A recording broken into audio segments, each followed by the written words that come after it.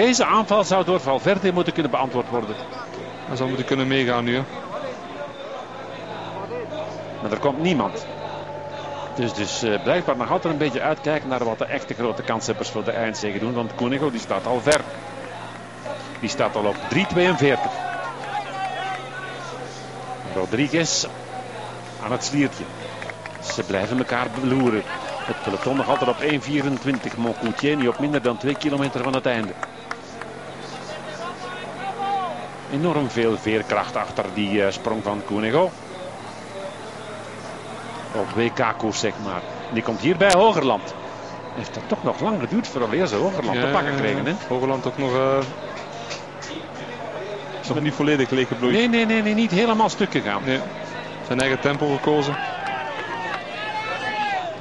Hoe dicht komt deze Koenigo nog bij Moncoutier? Dan gaat hij straks niet vloeken en zeggen van... ik ben er te laat aan begonnen.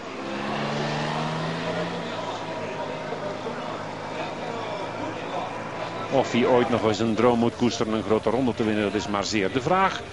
Na zijn uh, ondergang in de, de Giro. Koenigo zou nu op 40 seconden gemeld worden van Moncoutier. Dat is plots heel dicht. Het peloton op 55 seconden. Hij is dus een beetje in crisis hier en het is hem ook aan te zien. Het vlak nog een beetje uit de laatste kilometer. Misschien kan hij daar nog wel een beetje van profiteren. Dit wordt de kopman van de squadra van Ballerini. Omdat de rest te voet gesteld is door dopingproblemen. Moncoutier naar de laatste kilometer. Moncoutier naar de laatste kilometer. Het zal dus in de sprint moeten gebeuren. Daar ginds voor die ligt, daar moet Moncoutier rijden. Ah nee, het zijn uh, Guardia Civils die stilstaan. Laatste kilometer. Hier zitten we bij Basso en bij uh, Valverde en bij Evans. Nou, het vlakt een beetje uit. Hè. Het is uh, voor Moncoutier wel misschien de kans om uh, toch nog een tand groter te gaan zetten. Het zou kantje bootje zijn. En hier hangt die pas. Hier hangt die pas. Oei, oei, oei, oei, oei. Hier hangt die vod. Nog een kilometer voor Moncoutier. Die een beetje scheef trekt met die rechterschouder. En een beetje begint te wanhopen. En daar is Koenegal. Het kantelt, het kantelt. Het kantelt in de laatste kilometer. En waarom beantwoordt Valverde die aanval van Koenigo niet? Kan hij niet? Als hij wel kan, dan is hij toch wel dwaas geweest. Want hier, dan laat hij hier eh, kostbare bonificatieseconden liggen. Ja. Het is natuurlijk in die, in die luxe situatie dat Basso op hem tijd moet goedmaken. En, en, hij niet op Basso. En misschien speelt hij gewoon op zeker. Op gelet. Hij kan natuurlijk ook nog eh, sprinten voor die derde plaats en de bonificaties pakken. En dan wipt hij over Evans. En dan gaat hij wel leider worden. Hè? Dan wordt hij leider, ja.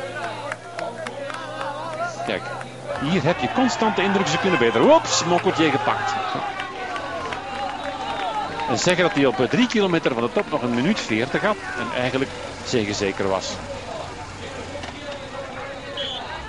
Een van de mooiste dingen die we deze Koenego in de geschiedenis van de Vuelta al zagen doen. Hier is Geesink vertrokken. Ja, ook Geesink moet terrein goed maken. Hè? Geesink moet ook... Uh... Op en over Hogerland. En die maakt echt ook nog uh, indruk. Geesink. En wat uh, mindere tijdrit gisteren voor zijn doen. Geesink moet zijn klassementgevoel kunnen verbeteren. Staat op 1,57. En kan met die bonificaties en wat extra seconden die hij nu kan nemen heel dicht bij Evans bij Valverde komen. En dat maakt het allemaal veel interessanter. Ja. Staat op 43 seconden van, uh, van Evans. Dus dat uh, tweede kan worden. Gaan er nu eens 12 seconden af. Koenigo nu uh, stil naar de laatste bochten.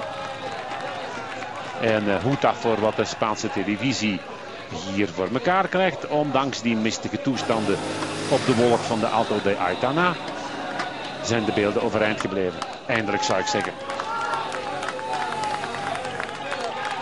Mister Ronde van Lombardije gaat waarmaken hier op de flanken van de Aitana in de Vuelta.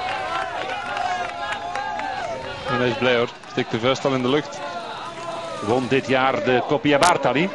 Maar dit is toch nog van een ander niveau hoor. Hier de laatste hectometer voor Damiano Cunego. Ooit is uh, winnaar van de Ronde van Italië. Hier als eerste bovenop de Alto de Aitana. Op het juiste moment weggesprongen. En ook al gezien het feit dat Mongoutier echt ten onder ging in de stopkilometer.